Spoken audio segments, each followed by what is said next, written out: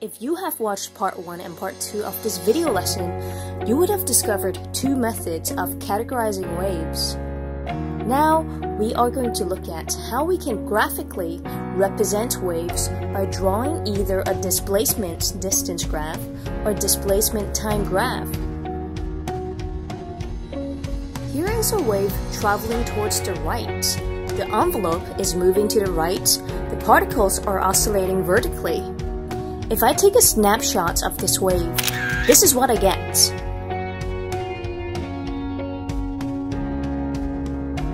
I take this sinusoidal shape and put it onto a graph with displacement on the vertical axis and distance on the horizontal axis.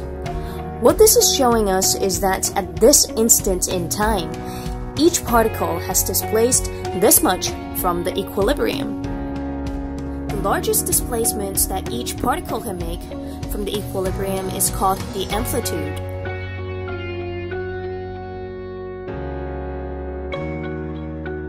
Another quantity that we can measure from a displacement distance graph is the wavelength.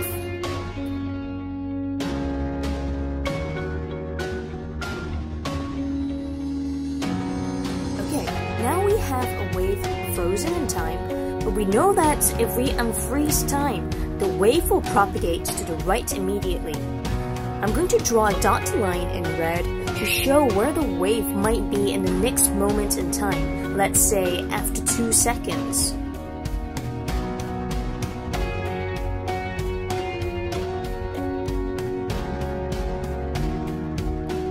With the dotted line drawn, I can now predict where all the individual particles are going to be after these two seconds.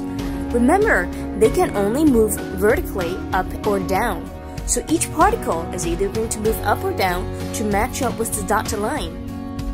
What if I isolate just one single particle on this wave and watch how it changes its displacement over time? Well, I could draw more waves with dotted lines, but that's just a complete waste of time. So instead, I'm going to plot the next type of graphs known as a displacement time graph. Although a displacement time graph of a single particle is also a sine wave, it is a completely different graph compared to a displacement distance graph. To prove to yourself that a particle traces out a sinusoidal shape over time, you can do this at home. Take a pen and hold it down on a sheet of paper. Ask someone else to pull the sheet of paper to the left. At the same time, you move your pen vertically up and down. What kind of graph does it give you? A displacement time graph tells us two quantities. It tells us the amplitude, just like a displacement distance graph, but on the time axis, it gives us the time period. The time period of a wave is the time it takes for the particle to complete one single cycle of oscillation. The inverse of this is the frequency. Frequency is the number of cycles that can occur within one second. The unit of time period is seconds, and the unit of frequency is hertz.